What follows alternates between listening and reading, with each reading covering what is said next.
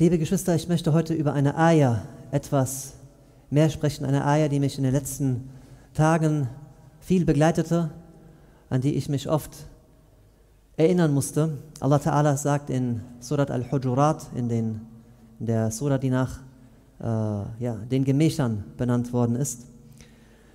يا أيها الناس إنا خلقناكم من ذكر وأنثى وجعلناكم شعوبا وقبائل لتعارفوا إن أكرمكم عند الله أتقاكم إن الله عليم خبير.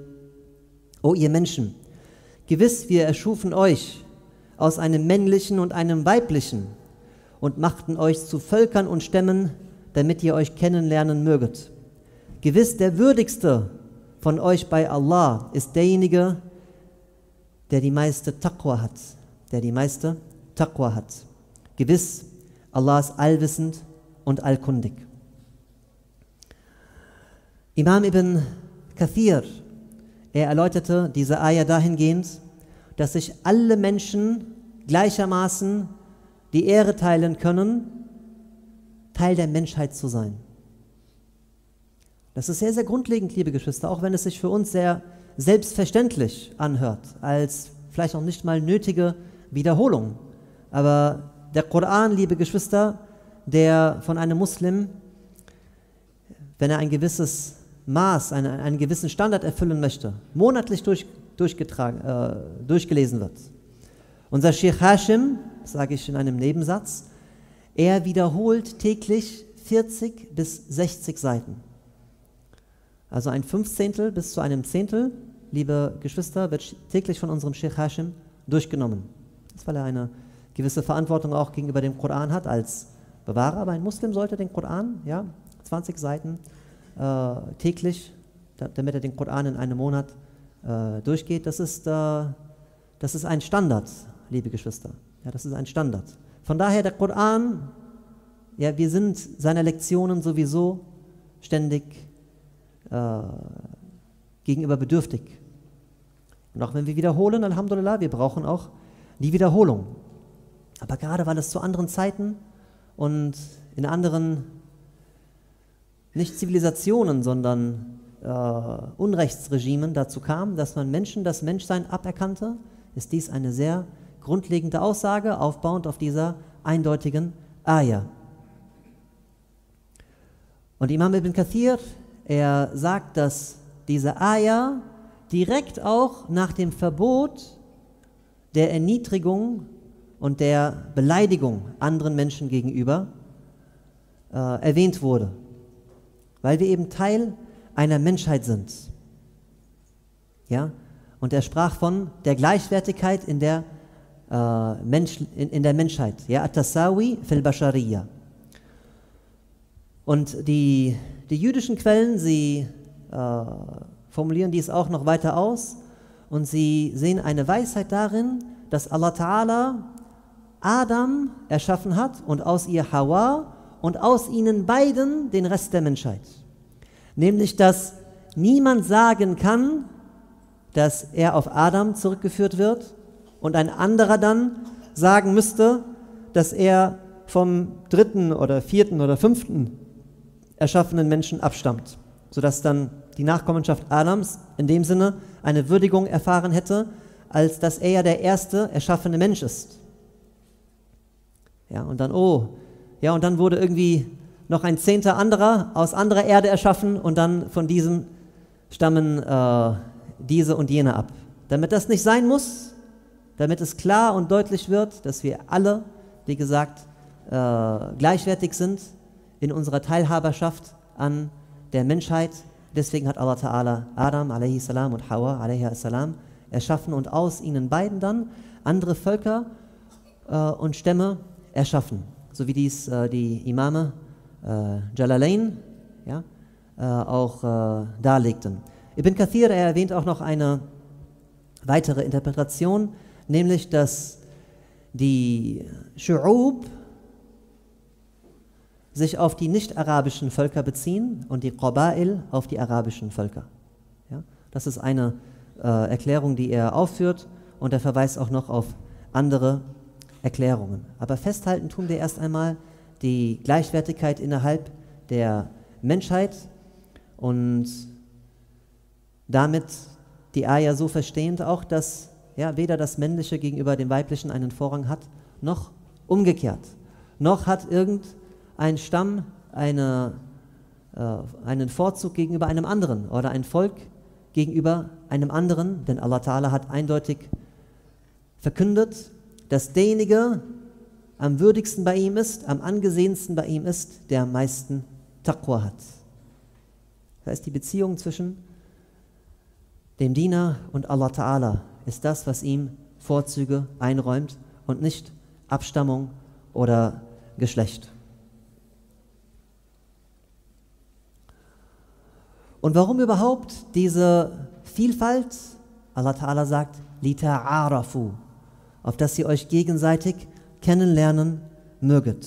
Auf dass ihr euch gegenseitig kennenlernen möget. Die, die Imame Jalalain haben auch noch darauf verwiesen, dass äh, diese Ayah quasi ein Verbot beinhaltet, äh, wegen seiner eigenen Abstammung äh, stolz zu sein. Ja, dass man nicht prahlen darf aufgrund der eigenen Abstammung.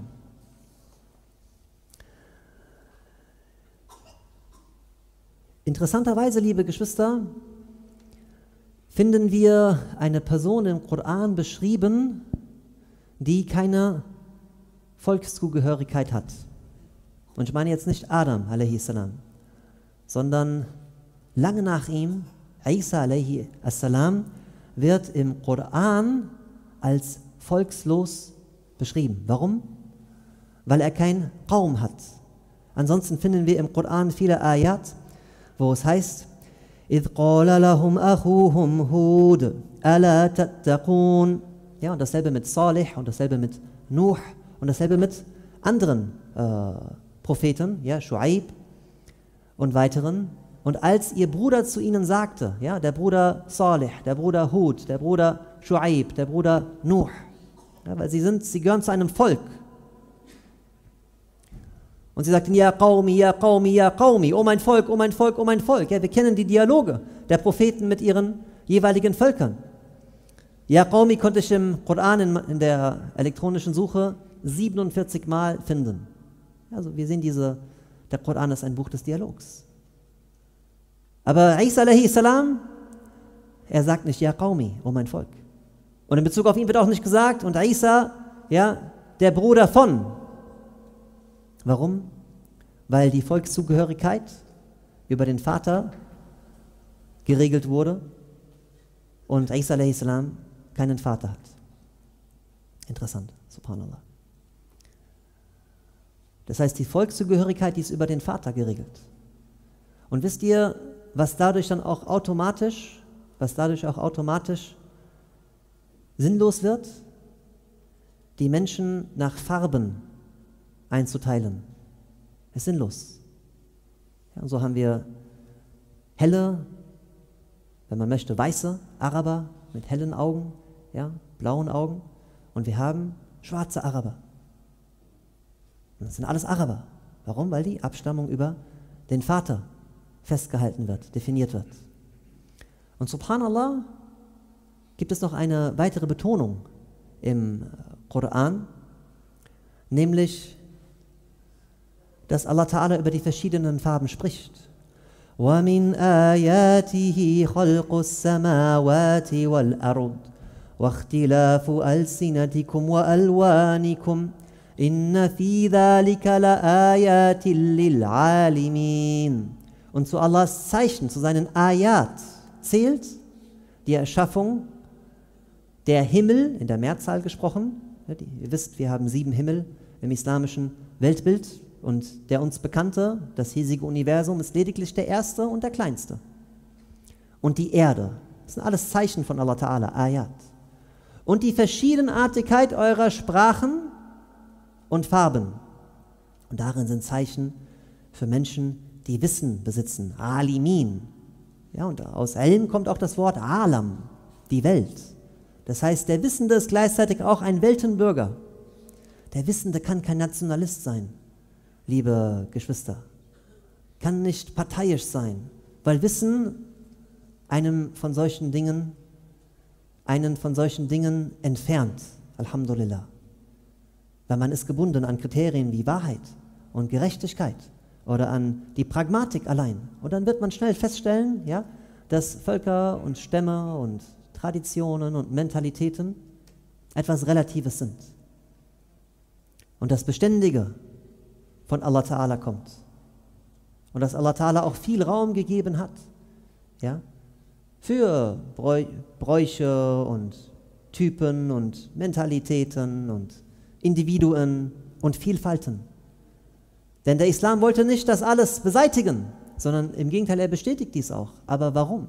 Lita'arafu, auf dass ihr gegenseitig euch kennenlernen möget.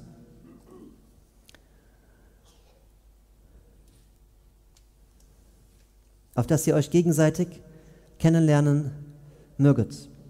Ich habe äh, während der Recherche etwas Besonderes gefunden, was ich euch nicht vorenthalten möchte.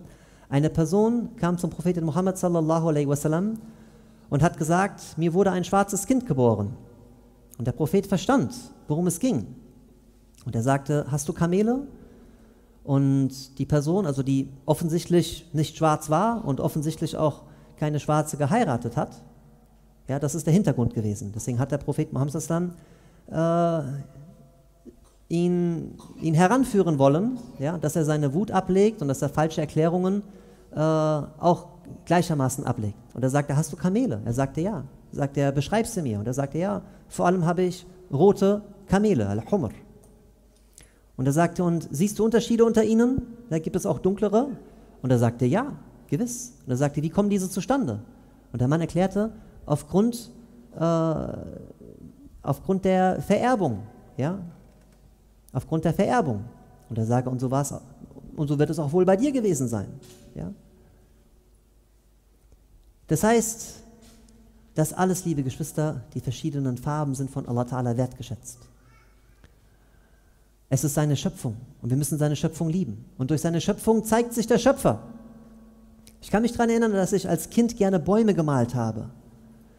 Und ein Bild habe ich so gemalt, so aus, einfach so schnell, schnell, schnell, ja. So Gras und dann ein bisschen braun für den Stamm und dann nochmal, ja, grün, rund gemalt und das war dann quasi der Baumwipfel.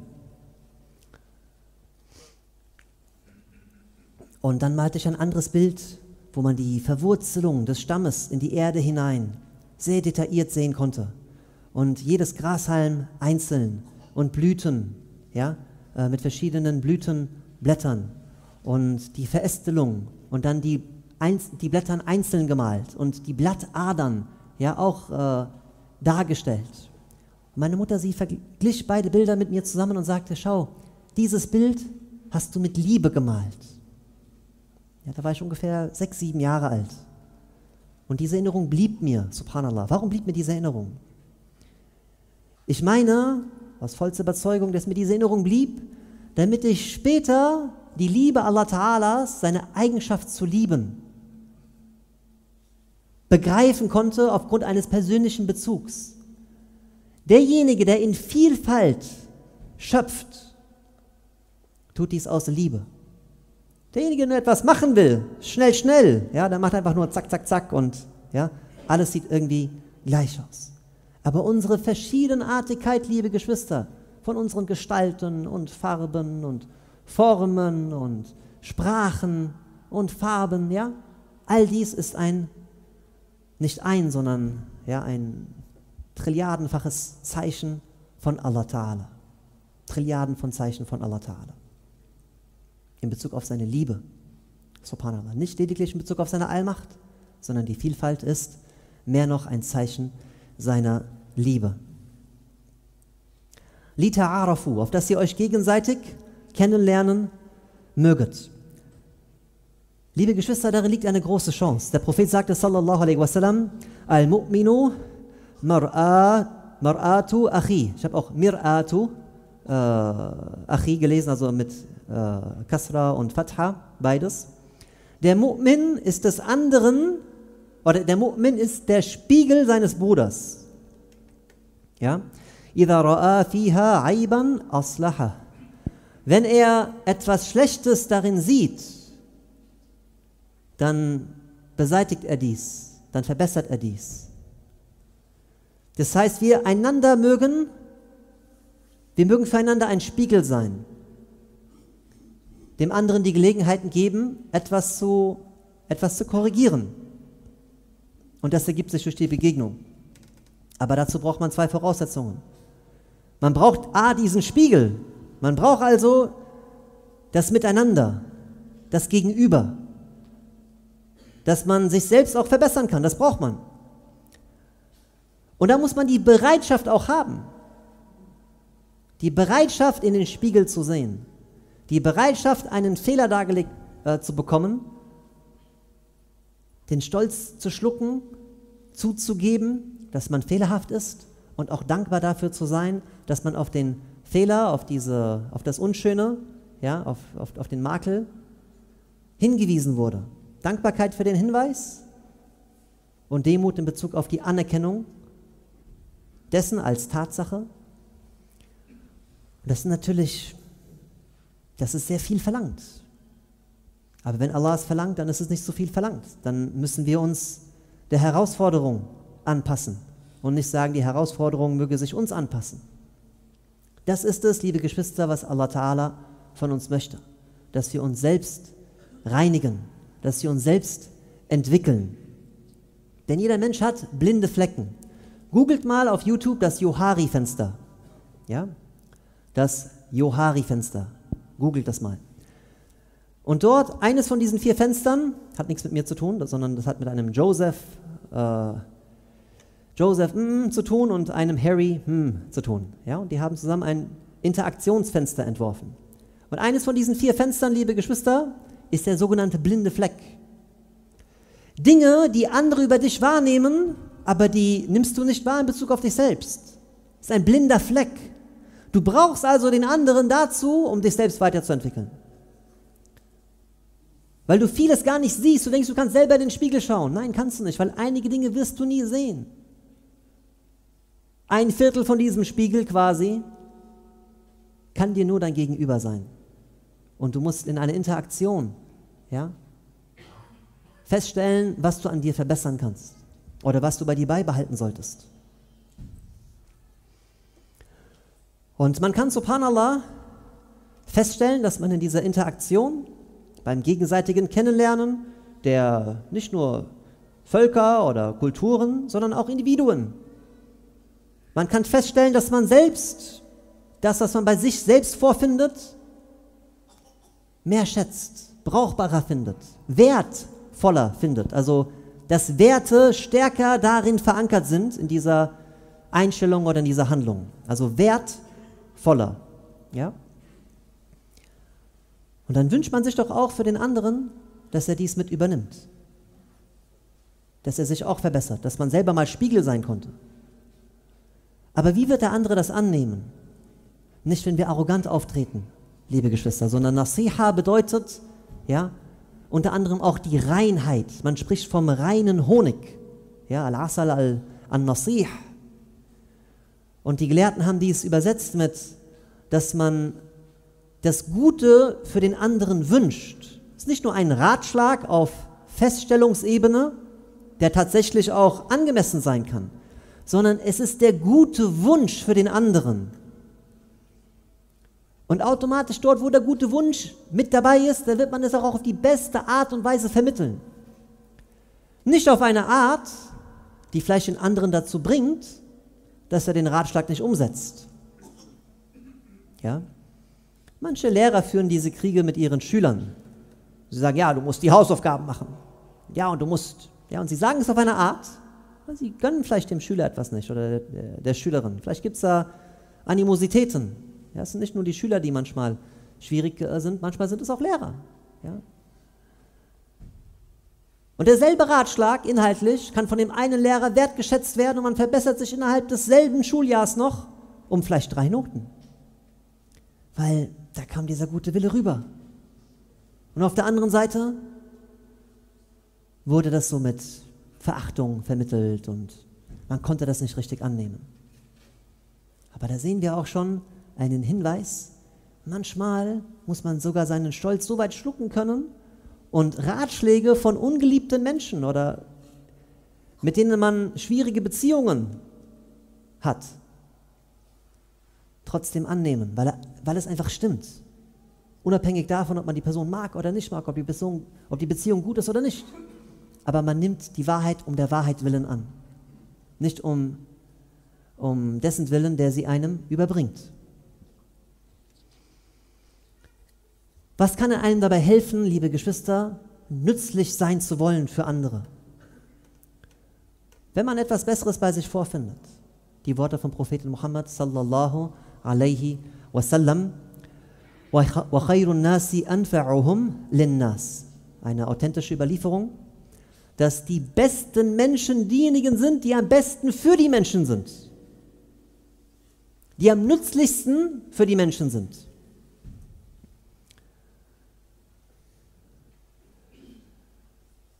Und manchmal, liebe Geschwister, ist man auf der anderen Seite. Manchmal entdeckt man durch Interaktion, durch Zusammensein, durch sich gegenseitig kennenlernen, dass etwas anderes, dass, dass man etwas findet bei jemandem oder bei Menschen, was besser ist als das, was man, was man ursprünglich aufrechterhalten hat. Das passiert sehr oft bei Reisen. Wir haben über Reisen auch die letzten Freitagsansprachen gesprochen. Reisen ermöglichen, ermöglichen einem diese Vogelperspektive, diese Selbstreflexion, dass man andere und anderes kennenlernt. Und dann darf man nicht zu stolz sein, das anzunehmen, liebe Geschwister.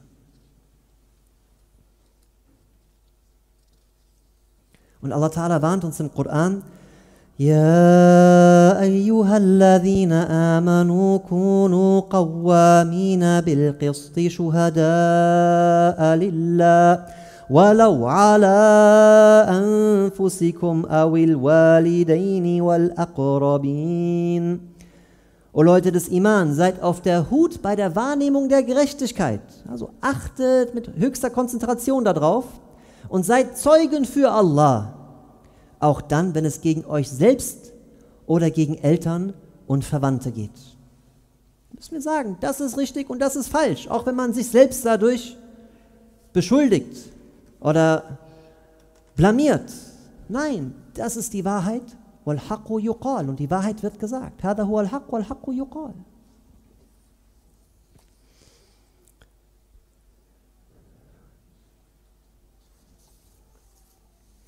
Und drittens, liebe Geschwister, manchmal erleben wir auch, dass manche Dinge Geschmackssache sind.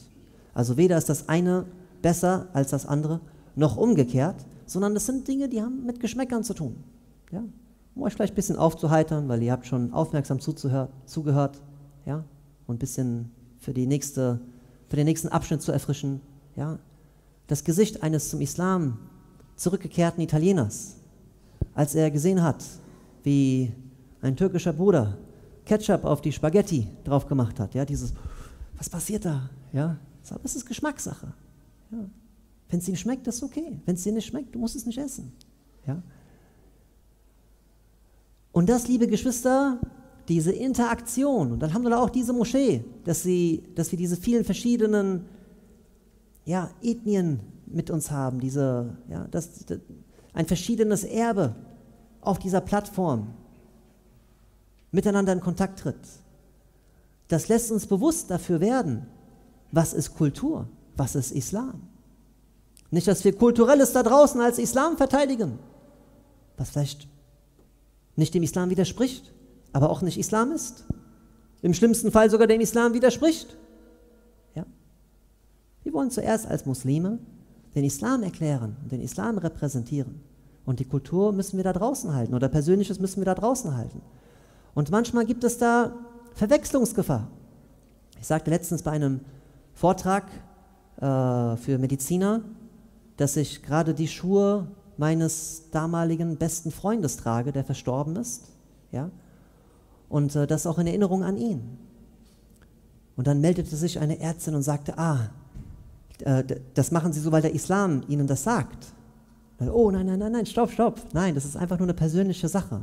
Ja, so, das kann man jetzt nicht so auf den Islam zurückführen. Ja? Und auch nicht auf irgendeine Kultur, die sie mir vielleicht zuschreiben. Ja? Da werden wir dafür sensibel, liebe Geschwister. Was ist die Religion? Was ist Kultur? Was ist eine persönliche äh, Auffassung? Ja, und Kulturen, da sind wir uns, glaube ich, alle einig, sind verhandelbar. Das Kulturelle ist verhandelbar, das Persönliche ist verhandelbar. Als Muslim sagen wir, das, was Allah Ta'ala uns mitgegeben hat, das können wir nicht verhandeln. Wir können nicht sagen, Allah Ta'ala sagte, äh, betet fünfmal am Tag und wir machen daraus zwei oder drei. So nach dem Motto, ja, das geht auch. So, wer bist du, dass du das sagen kannst? Das ist, das ist eine rote Linie. Ja? Aber wie eine Moschee architektonisch aussehen soll, das haben Muslime der verschiedensten Kulturen auch verschieden beantwortet. Ja, und verschiedene Geschmäcker zum Ausdruck gebracht, was die Architektur, die Architektur anbelangt oder den Grad der Schmückung. Da gilt eigentlich das Gebot der Zurückhaltung, denn der Prophet sagte, sallallahu ihm wurde nicht befohlen, die Moscheen auszuschmücken. Ja? Aber wie das Ganze dann aussieht. Manche Menschen beschweren sich über Mekka, dass es jetzt so ja, global aussieht oder so modern aussieht teilweise. Ja, Alhamdulillah, der Islam ist eine universelle Religion für alle Zeitalter und für alle Kulturen. Warum soll der Islam stets im orientalischen Gewand irgendwo symbolisch vertreten sein? Ja? Wir können doch auch Moscheen in, in bestem äh, deutschen Fachwerk haben. Das ist schön, Fachwerk ist schön, Alhamdulillah. Ja, so eine Fachwerkmoschee. Wozu brauchen wir die Kuppel? Die ist sowieso nichts Religiöses. Wozu brauchen wir das Minarett? Ja? Wenn wir auch Lautsprechersysteme haben. Ich, ich habe selber gegenüber einer großen Moschee in Ägypten gelebt, ja, sodass ich dort, das ist vielleicht ein 400 Meter Lauf gewesen. Ich habe nie gesehen, wie das Minarett benutzt wurde. Kein einziges Mal, nicht in zehn Monaten. Ihr könnt euch mal ausrechnen, wie viele Gebete das sind in zehn Monaten. Ja? 15.000, glaube ich, wenn ich jetzt richtig gerechnet habe. Oder 1500 mindestens. Ja, subhanallah.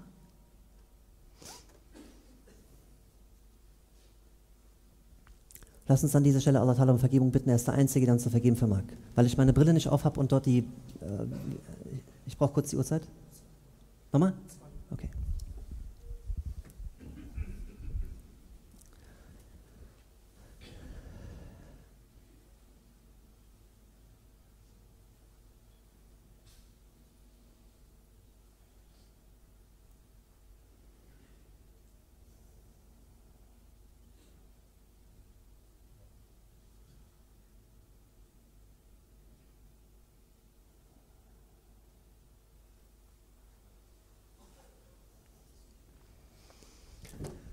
أشهد أن لا إله إلا الله وأشهد أن محمدا عبده ورسوله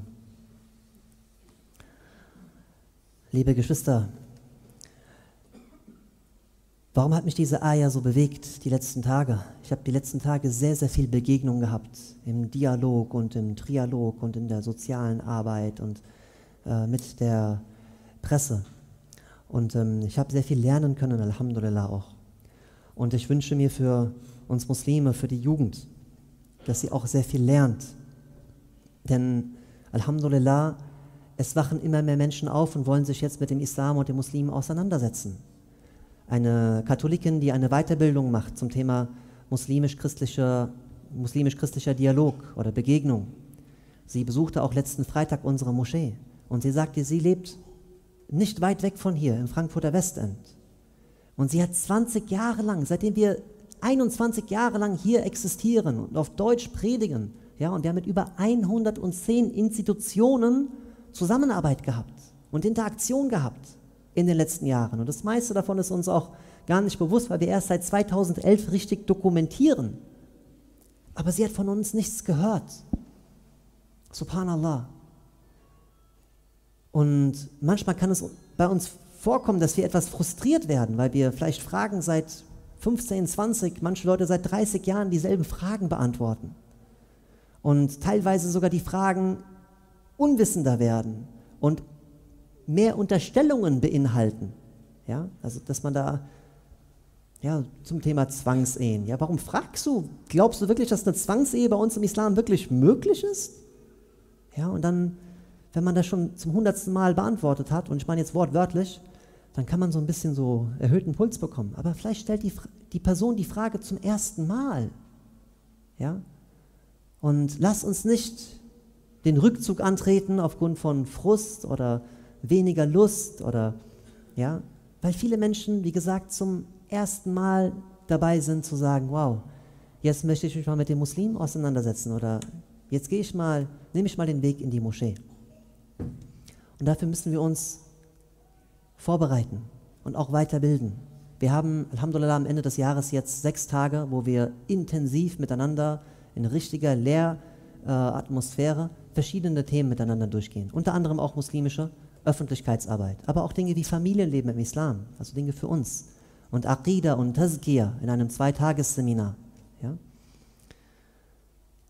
Nehmt euch die Zeit, bildet euch fort, weil wir auch hier unabhängig von muslimbezogenen Themen tragen wir auch Verantwortung für diese Gesellschaft. Wir tragen auch Verantwortung als Bürger dieser Gesellschaft für diese Gesellschaft. Und da ist es wichtig zu interagieren, von anderen zu lernen, von Profis zu lernen, dass man Seminare besucht und Workshops besucht und Vorträge besucht und dass man sich fortbildet und Bücher kauft und in Diskussionsgruppen einsteigt und ja, sich zivilgesellschaftlich engagiert. Auch wenn uns vielleicht einiges etwas nerven kann, ja, weil wir wie gesagt, zum hundertsten Mal vielleicht eine Frage beantworten. Und wie gesagt, die Frage an sich ist vielleicht eine Unterstellung, eine Beleidigung. Ja? Aber lasst uns Humor haben, liebe Geschwister. Lasst uns auf den Menschen zugehen. Lasst uns offen sein. Und dadurch werden wir auch selber sehr viel lernen. Alhamdulillah, unsere Broschüre über Behinderung im Islam. Wisst ihr, wie diese zustande gekommen ist? Unsere Nachbarn damals, als sie noch hier waren, die Lebenshilfe, Sie haben auf höflichste, sensibelste, demütigste Art und Weise gefragt, wie der Islam zum Thema Behinderung steht. Und ich fragte, warum? Warum fragen Sie so? Ja, so ganz lieb, ganz höflich, ganz sensibel. Und dann, ja, weil wir manche Menschen erleben, die denken, das wäre eine Strafe Gottes. Ist es denn wirklich so bei Ihnen? Ja? Und dann, nein, nein, nein. Und dann, oh, wir müssen Leute informieren, wir machen eine Broschüre. Ja? Weil das Gegenüber war aufrichtig. Und es war ein Spiegel und wir mussten, wir durften das annehmen. Ja? Fair Trade, Islam und fairer Handel. Und wir wissen mittlerweile, was der Koran zum fairen Handel sagt und was der Prophet vorgelebte, vorlebte auch zum Thema fairen Handel. Das hat uns eine katholische Jugendgruppe 2009 in die Gemeinde reingebracht, die Frage nach dem fairen Handel. Davor, wir waren nicht mit dem Thema fairer Handel beschäftigt. Das heißt, wir lernen auch eine Menge aus dieser Interaktion, liebe Geschwister. Wir lernen auch, im Hinblick auf unsere eigene Religion bekommen wir sozusagen Forschungsaufträge. Ja? Durch diese Interaktion. Und dafür sind wir dankbar, Alhamdulillah. Denn Allah Ta'ala hat die Menschen zu verschiedenen Völkern und Stämmen erschaffen, auf dass sie einander kennenlernen mögen. Und dieses Kennenlernen, liebe Geschwister, ist für uns. Ist nicht etwas, was wir, eine Sache, die wir aus dem Weg gehen sollten, sondern im Gegenteil, wir sollten so viel wie möglich andere kennenlernen. Wir können nur profitieren, entweder als Geber oder als Nehmende, ja, ohne wegzunehmen, oder als Bereicherte, dass wir wissen, ja, okay, das ist Kultur. Die manchen ja, können Spaghetti mit Ketchup essen und manche eben nicht. Das ist Kultur, das ist persönlicher Geschmack, was Individuelles, austauschbar. Ja Allah, Ja Aziz, Ja Rahman, Ja Rahim, Ja Malik, Ja Quddus. Oh Allah, wir bitten dich mit all deinen Namen. Bitte gib uns all das Gute, was der Prophet Muhammad von dir erbeten hat und schenke uns deinen Schutz, vor allem, wo auch der Prophet Muhammad sallallahu alaihi bei dir um Schutz gebeten hat. O Allah, bitte befreie die Unterdrückten, bitte heile die Kranken, bitte verheirate die Unverheirateten, bitte schenke denen, die sich Kinder wünschen, gesegnete Kinder. O Allah, und erfülle die Nöte und Bedürfnisse derjenigen, die dich bitten, O Allah. Allahumma amin. Allahumma salli wa sallam ala nabina Muhammad wa ala alihi wa ashabihi ajma'in.